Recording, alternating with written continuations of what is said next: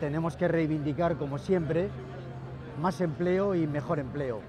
Mejor empleo especialmente porque en España, desde la reforma laboral, se ha producido un destrozo en las condiciones de trabajo, en la precarización, en la devaluación de las condiciones laborales en España, en la pérdida de salario. Y por eso creo que esta fiesta del primero de mayo es una oportunidad fantástica para reivindicar, como siempre, como a lo largo de toda la historia, más empleo y mejor empleo.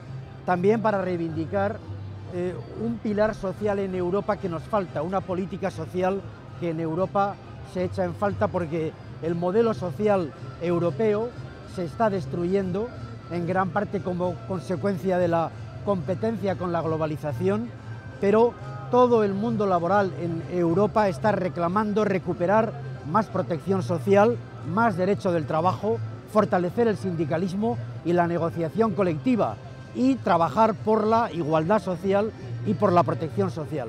Estas son las causas que aquí nos traen, otra vez, como siempre, en pleno siglo XXI, para reivindicar lo que siempre hemos reivindicado en nombre de los trabajadores.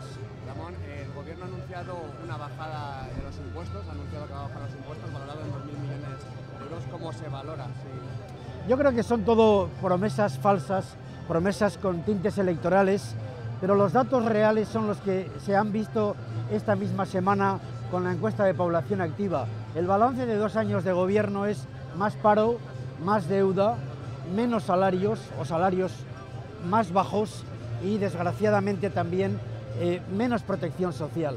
Ese es el balance de lo que desgraciadamente tenemos, esa es la realidad, lo otro es pura propaganda electoral. Gracias.